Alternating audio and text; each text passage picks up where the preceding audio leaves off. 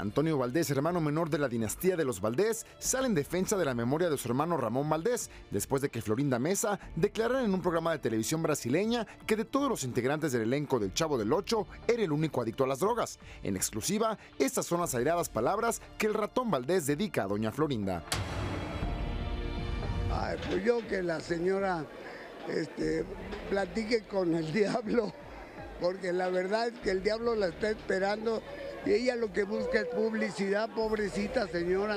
Dios la ayude a ella a encontrar algo que le resuelva su soledad y que Dios la ayude en lo que le quede de vida. Pero usted como familia, con sus hijos, con los hijos de don Ramón, ¿qué sintieron? Deberíamos de estar muy enojados, ¿no? Según tu, tu pregunta. No, nos vale gorro, no pasa nada. La gente sabe perfectamente que es mentira. Ramón fumaba, se echaba sus chupes, obviamente.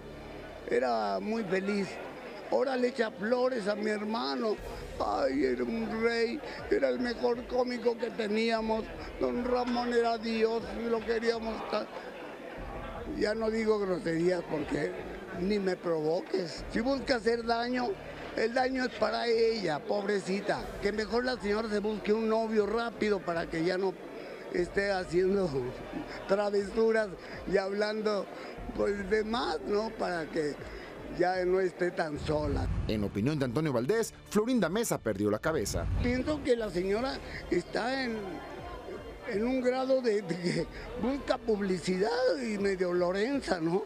Porque la verdad no sé qué gana o qué quiere hacer, que ofende y luego se arrepiente te ama, te odia, no, no sabe qué hacer. Que nada tuvo que ver con las drogas, ni una adicción. No, él fumaba mucho, eso sí, ¿eh? posiblemente el cigarro le hizo daño, como a Mauricio Garcés, que lo, pero a Mauricio lo mató el pulmón y a mi hermano lo mató la columna vertebral, no sabemos. Dios quiera y Bisoño entreviste a la señora a ver qué sale. Todos lo esperamos, creo que por lo, lo que ha hecho la señora, ¿cómo se llama? Florinda.